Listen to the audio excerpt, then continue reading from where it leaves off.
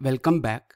Let's understand how we can set up HTTP response over REST services in this video. As of now, we worked with input payload or attributes to the REST services. We are sending the input data either through headers or through the body or through both.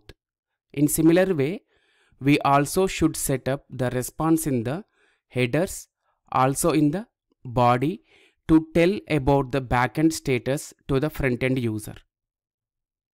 So we will set the response in headers with status codes and status reason. Here 200 is status code, OK is status reason. And also we set up some status responses in the body as well. Let's see that. If we look at listener connector, we have a section called responses. Under responses, we see body and we see status code and reason phrase, right? So in body, if we wanted to say as success, we can mention this as success and the status code as success. So it is going to be 200 and reason phrase we can say as okay. Let's save it.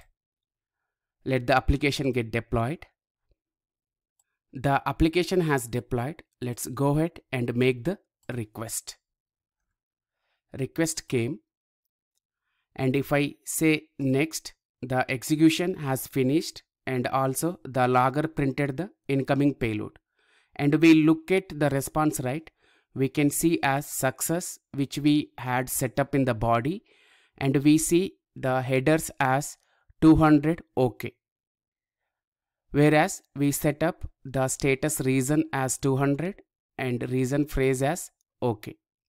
So this way we set up the responses by using HTTP listener connector. That's all about this session. Thank you. Happy learning.